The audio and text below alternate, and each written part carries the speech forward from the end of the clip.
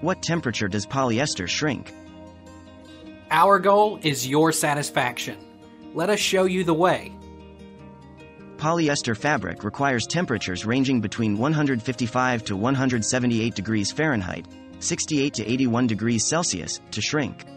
Polyester, being a resilient synthetic fiber, does not shrink as easily as other fabrics such as cotton or wool do,